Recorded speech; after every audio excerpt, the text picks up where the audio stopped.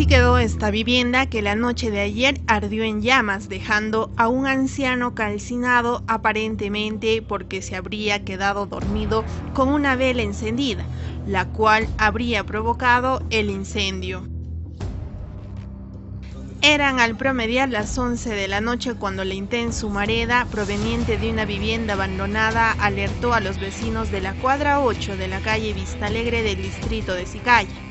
Desafortunadamente en el interior de la casa se encontraba Luis Palomino, un indigente de 72 años de edad al que conocían como Palomo, seguramente por la relación con su apellido. Sí, lo conocían como un apodo, Palomo le decían, anciano, siempre paraba acá, vivía ahí.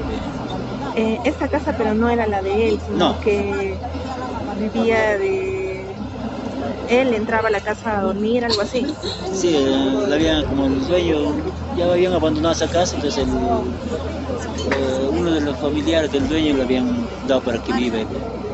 La casa, como lo podemos ver, es de material rústico y de dos pisos. Según los vecinos, Palomo venía a este lugar a dormir. Al parecer la noche de ayer se habría quedado dormido con una vela encendida, la cual habría sido el origen de este incendio.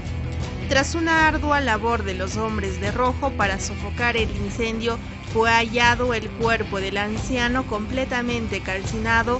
Al parecer, la intensa humareda le habría causado la muerte instantánea, encontrándose el cadáver en posición fetal y con las vísceras expuestas.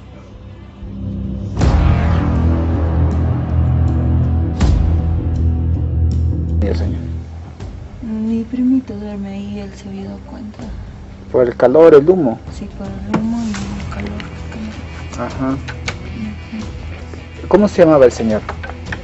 Palomo, Palomo nomás le decíamos. ¿Tiene familia aquí en Sicaya, pero?